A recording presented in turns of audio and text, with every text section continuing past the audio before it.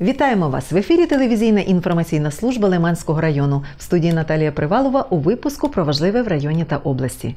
Ми періодично інформуємо вас про реалізацію одного з найважливіших екологічних проєктів в Одеській області. Йдеться про реконструкцію каналу між Телігульським лиманом та Чорним морем. Роботу у цьому напрямку було розпочато у минулому році.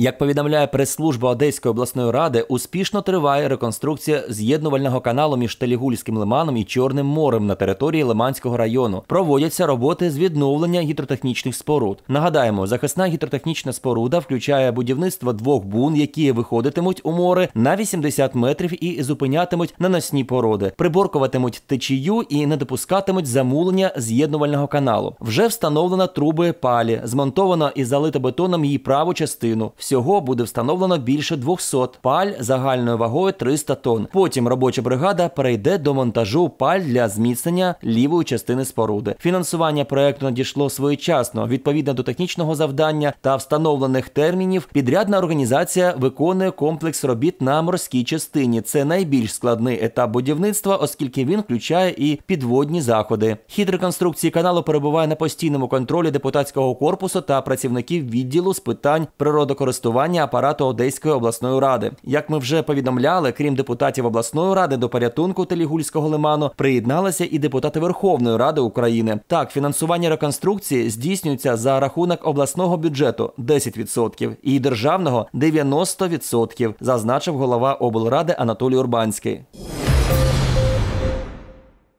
Загальними зусиллями керівництва органів влади Лиманського району, депутатів усіх рівнів та фонду імені Олексія Ставніцера у районі проводяться чималі роботи з осучаснення освітніх установ. Одним з прикладів є дитячий дошкільний заклад Сонечко, що успішно працює у селі Першотравневе, де побували наші кореспонденти. Дитячий садок села Першотравневе – один з найбільших в районі. В радянську епоху його звела місцева птахофабрика за ініціативи її директора Олександра Вікторовича Янчева. Хоча приміщення для груп побудували просторі, є незручність. В одній великій кімнаті діти сплять, грають і навіть приймають їжу. Особливо захаращували кімнату ліжечка, які вже послужили цьому дитячому закладу не один десяток років.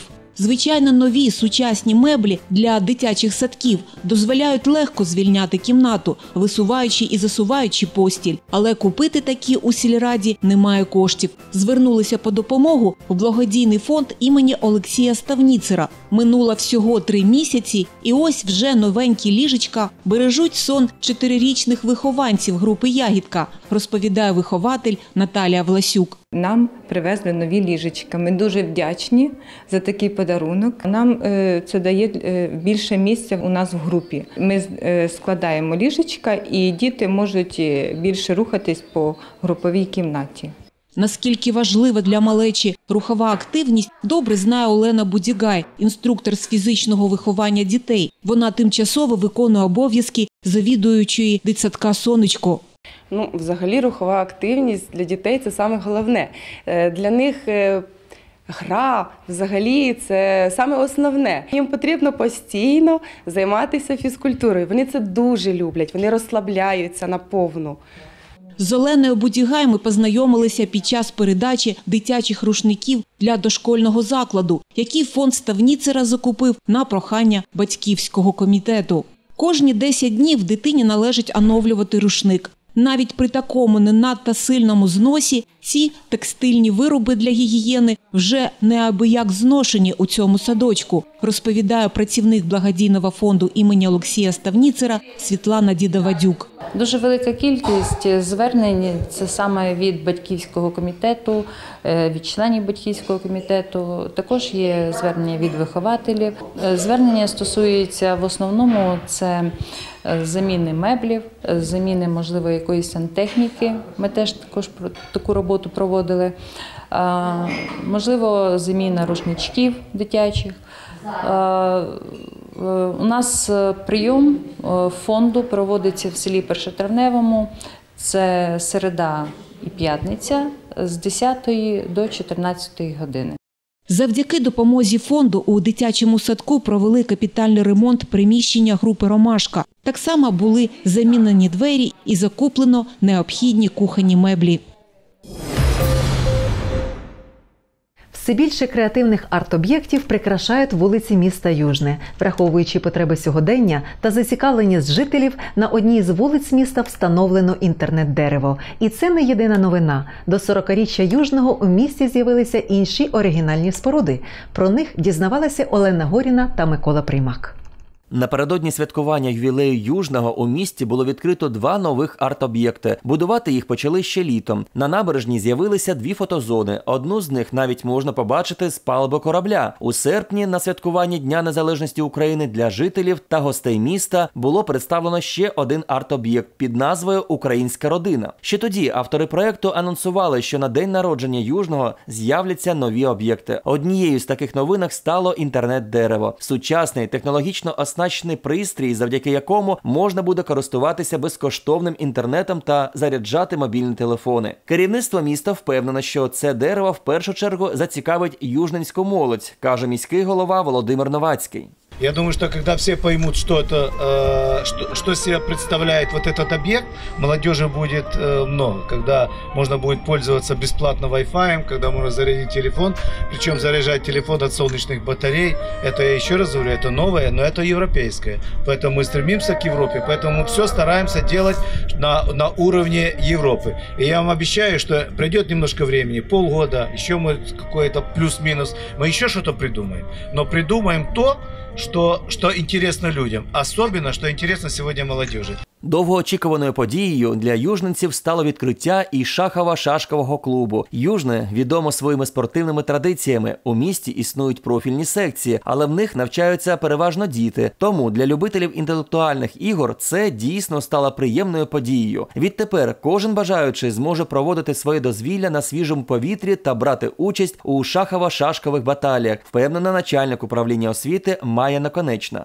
Бажаючих було багато. Звернень до Южницької міської ради, як дітей, так і дорослих, було дуже багато. Що вони бажали саме е, в парку Приморському відкрити ось такий літній павільйон. Над цим павільйоном працювали. е, Спеціалісти е, працював Артем Вікторович, Віктор Іванович Богуш. Вони ще в минулому році робили попередню розмітку, що тут повинен він бути. І ось за рік дійсно е, цей павільйон готовий, і ми сьогодні його здаємо в експлуатацію. У зв'язку з відкриттям павільйону керівництво спорткомітету провело турнір серед дітей 14 років. Наступного дня стартував масштабний турнір південного регіону за участю майстрів міжнародного класу. Проте павільйон ще потребує доробки. Це стосується утеплення, придбання кондиціонерів та встановлення батареї, розповідає голова спорткомітету Артем Луць. У нас там будуть зроблені спеціальні стелажі. Е, ну, я би показав е, ну, при самому вході на стінки той, е, де будуть знаходитися стояти ці фігури. Білі зверху, чорні знизу, там, чи, ну, в общем, два стелажа буде. Е, звичайно, за ними будуть слідкувати працівники нашого клубу. У нас три тренери працює, і вони будуть за цим слідкувати. І виносити зранку, і ввечері йти додому, заносити, ну і так далі. Така процедура. Протирати там і наглядати за цим ділом. Вони не будуть на вулиці весь час. Тобто, це заносити, виносити, дбати за ними і так далі. так далі. Е, Що стосується утеплення, ми вже плануємо на цей рік це зробити вже до кінця року. Літній шахово-шашковий павільйон стане не тільки місцем відпочинку для городян. У майбутньому керівництво міста планує проводити тут змагання різних ступенів. Сам павільйон та його облаштування дозволяють це робити. За планом змагання можуть відбуватися влітку, весною та восени, а після утеплення і взимку. Шахово-шашковий павільйон став дуже цінним подарунком для багатьох южненців. І як сподіваються батьки міста, городяни оцінять його на 100%. З ініціативи керівництва Одеської обласної державної адміністрації в нашому регіоні реалізується ціла низка важливих проєктів, спрямованих на покращення умов життя людей. Велика увага приділяється жителям, які потребують особливого ставлення до питань їх здоров'я. Сьогодні ми розповімо про діяльність нового центру нефрології. Черги на гемодіаліз в Одеській області більше немає. Її повністю ліквідували. Ця процедура життєво важлива для пацієнтів з нирковою недостатністю. Всього у регіоні більше 360 людей потребують такої терапії. Ще торік у черзі на неї перебувало 139 пацієнтів. Троє з них діти. За словами голови Одеської облдержадміністрації Максима Степанова, наразі проблему вирішено повністю, в тому числі завдяки відкритому трохи менше року центру нефрології в Одесі. Це найбільший медичний центр такого такого профілю в Україні. Нагадаємо, у створення нового центру нефрології та діалізу в Одеській області торік вклали понад мільйон євро залучених інвестицій. Також у травні минулого року у місті Білгород-Дністровське відкрили відділення гемодіалізу. На цьому наш випуск завершено. Телевізійна інформаційна служба Лиманського району бажає здоров'я, миру і добра. З вами Наталія Привалова, і я прощаюсь до наступної зустрічі.